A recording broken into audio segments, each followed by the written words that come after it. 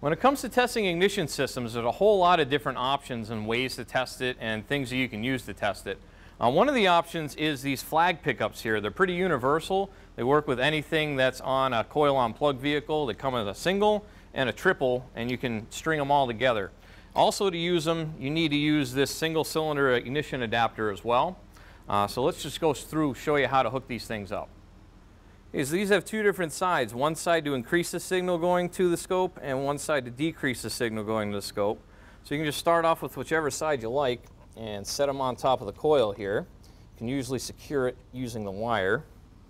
And then we can add in any number of extra units to get however many coils we have on the vehicle, just like that. Depending on how you have it set up, you may also need to use a dual female to female RCA to RCA adapter. So you can just plug those two together. And then we need to ground it. So we're going to ground it right here. and lastly, I'll back probe this coil here as a reference to know where my cylinder 1 is.